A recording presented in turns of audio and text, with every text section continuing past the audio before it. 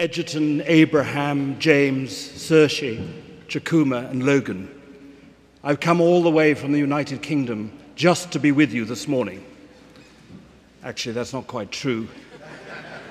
But it is an enormous privilege and delight and joy to be with you all this morning, sharing in this Holy Eucharist, but also to be here on this moment of baptism, where six children become inheritors of the kingdom of God with us, members of the church. This is a, a service about belonging.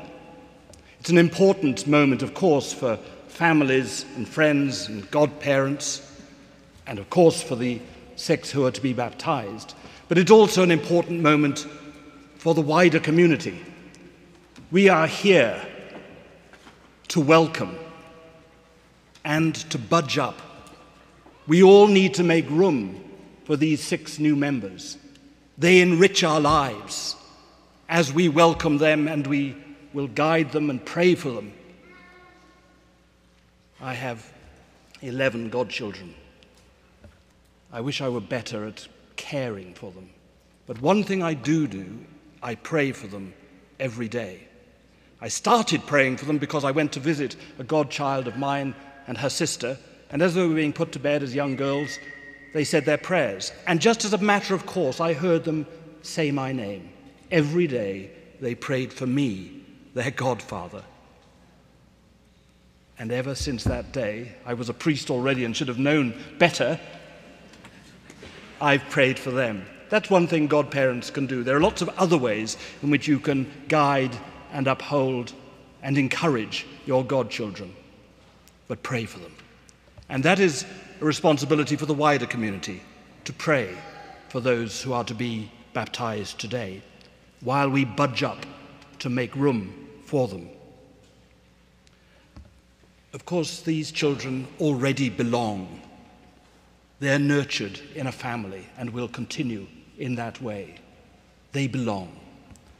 But today we mark the belonging to a wider family to the Christian family.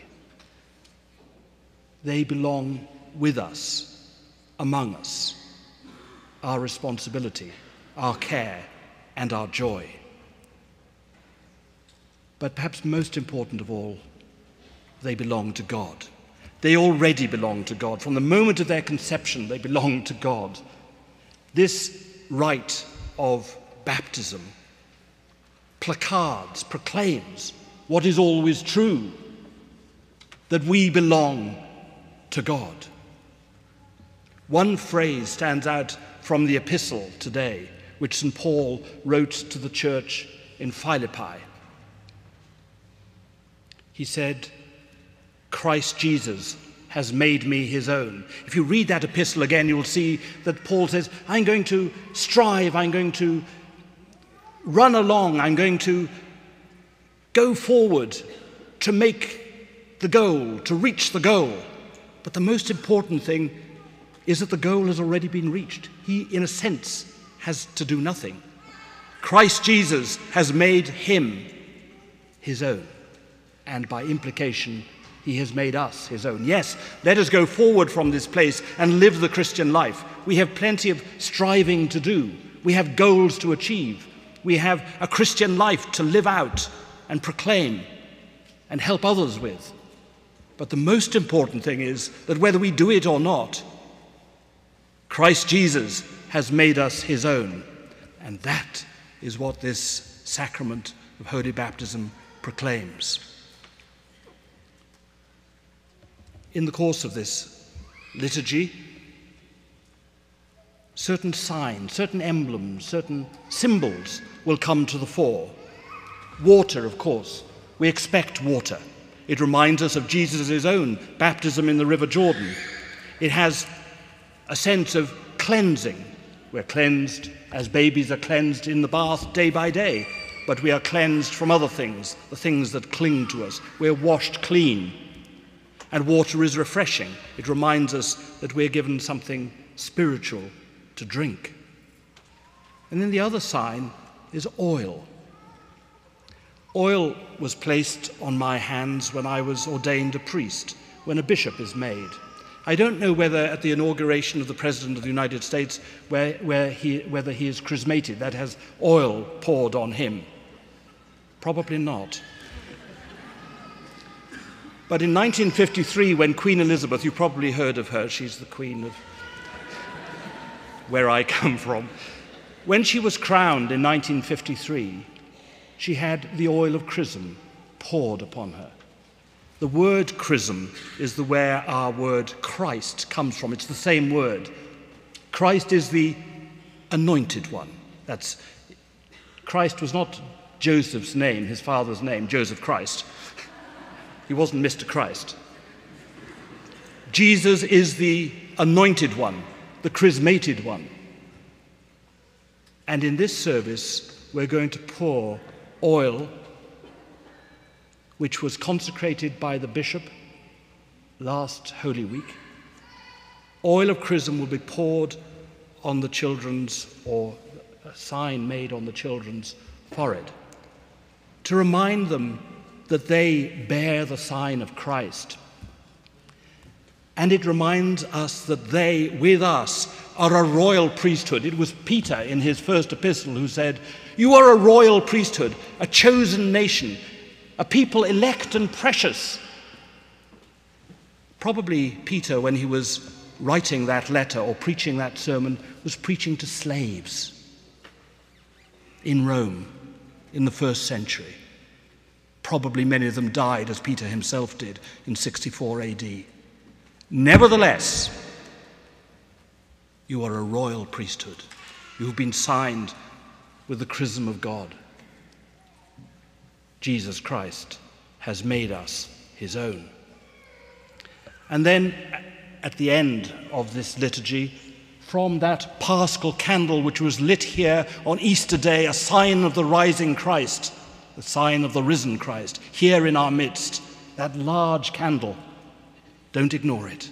From that candle, six lights will be lit and given to the families of these children, so that on their birthday or the anniversary of this day, they may light that candle and remember that they are to shine as lights in the world. We take the light from the paschal candle, from the sign of the risen Christ. We are part of Him. And it's not just about imitating Christ, following his example. There are plenty of things in the New Testament that will help us in our Christian journey, that will help St. Paul as he strives forward to achieve his goals. Before Paul got to this point where he said, Christ Jesus has made me his own, he sang a little song about Jesus. If you came to church last week, you would have heard it read as the epistle. Goes like this Have this mind among you, which was in Christ Jesus, who, though he was in the form of God, did not think equality with God a thing to be snatched at or hoarded or kept to himself, but emptied himself. What does it mean to empty yourself? I can't see it now because it's out of my sight line, but and none of you can see it all at the same time. But in the tower, there is a text.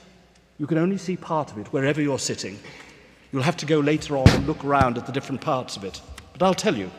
It says, Blessing and honor and glory and power be unto him upon the throne and to the Lamb forever. The Lamb forever is Jesus. If he emptied himself, he was emptying himself of blessing and honor and glory and power. Precisely. He emptied himself. And being found in human form, he took the form of a servant and made himself obedient, obedient unto death, even death on the cross. We have here someone who was in the form of God did not think his equality with God something to be snatched at, but, and here is the trajectory, moving down. He became human, took the form of a servant, was obedient, died, even died upon the cross. You can't get further than that. He is at the point where we are. And then St. Paul says in his wonderful hymn, Therefore, God has highly exalted him and given him the name that is above every name, that at the name of Jesus every knee shall bow in heaven and on earth and under the earth, and every tongue confess that Jesus Christ is Lord to the glory of God the Father. Just think of that shape, that downward trajectory, and that upward spring. When these children are baptized, they're not just having water sprinkled onto them, they're going down into a deep river, the river of Jesus' death and rising. They're that close to Jesus. Jesus Christ has made them his own, and they have entered into the mystery of his life and death and rising. It isn't just Jesus who goes down into the trajectory of our humanity to meet us where we are. It is the risen Jesus who comes up and is given the name above every name. And as he comes up, we come with him. These children come up from the waters of baptism, renewed, restored, children of God, with a place in the heavenly kingdom.